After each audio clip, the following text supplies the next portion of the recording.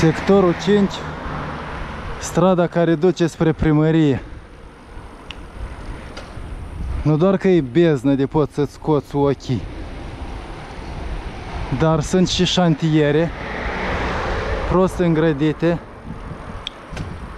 de mântuială.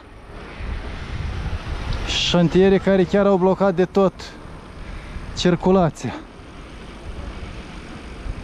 Mulțumim, iubit primar. Bine că ai ieșit de la pușcărie. Ce ne făceam noi fără matale? Cine avea să ne bage reclame enorme lângă clădiri de patrimoniu? Cine avea să ne blocheze circulația?